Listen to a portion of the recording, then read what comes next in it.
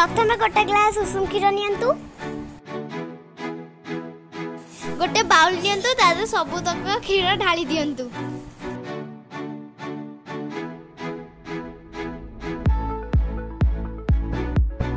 ଏବେ ଗୋଟେ ଚାମଚ ଡ୍ରାଏ ଇଷ୍ଟ ନିଅନ୍ତୁ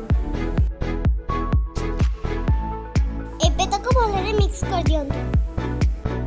ଟ୍ୱେଣ୍ଟି ମିନିଟ୍ସ ପାଇଁ ଆକୁ ଘୋରେଇକି ରଖିଦିଅନ୍ତୁ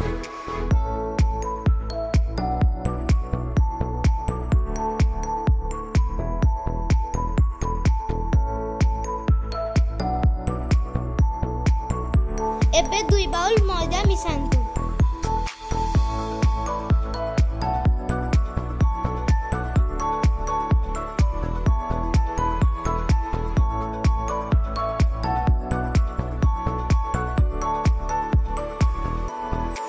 ଏବେ ଏହାକୁ ଭଲରେ ମିକ୍ସ କରିଦିଅନ୍ତୁ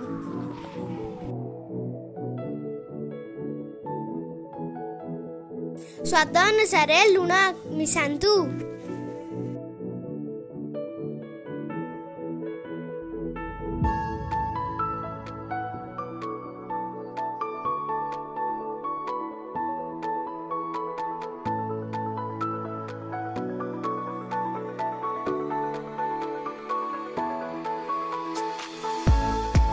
ಶುಚಿಪರಿಮಾಣ ರಿಫೈನ್ ಮಿಸೈಕಿ ತಕ್ಕು ಚಕ್ಕಟಿದಿ ಅಂದು